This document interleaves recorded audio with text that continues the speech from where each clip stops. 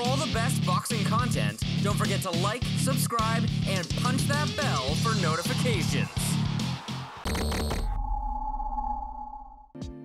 Being nicknamed the Dream couldn't be more fitting for WBC lightweight champion Devin Haney.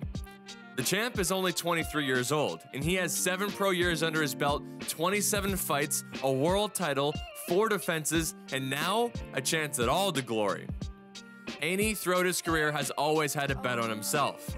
When he turned pro, the California native was too young to fight in the United States, and he didn't want to waste any more time in the amateur scene. So, he went to Mexico, where he was allowed to fight professionally. He also didn't sign with any promoter. He instead made his own promotional company called Devin Haney Promotions. Four fights, and two years later, he was undefeated and 18 years old. Now allowed to make his US debut, he did so at the MGM Grand in Las Vegas on the Manny Pacquiao versus Timothy Bradley undercard. From that point forward, it was all systems go.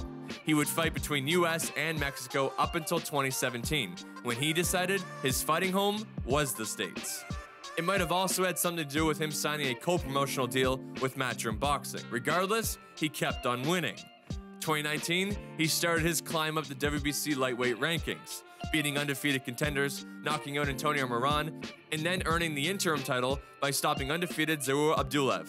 The story is well documented from there.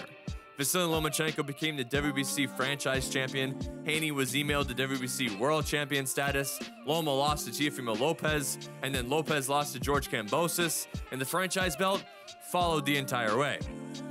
But while that was happening, Haney was trying to prove he was worthy of the world title. He defended it against undefeated Alfredo Santiago.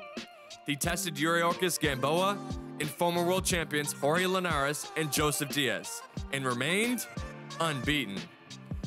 The other critique Haney gets is not knocking everybody out. Instead, he has a style that resembles the Hall of Famer and 50 0 Floyd Mayweather, and it's clearly worked out. The criticism might be coming to an end though, because Haney just placed the biggest bet on himself.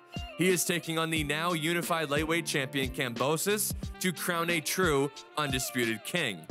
He agreed to go to Kambosos' backyard in Australia. He agreed to take less money. He left Matchroom and signed with Top Rank to fight on ESPN, and he agreed to a rematch clause. There's nothing left to critique. Haney is only 23 years old.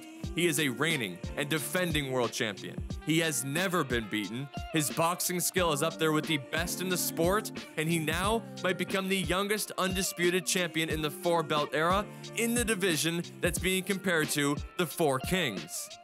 This is literally the dream.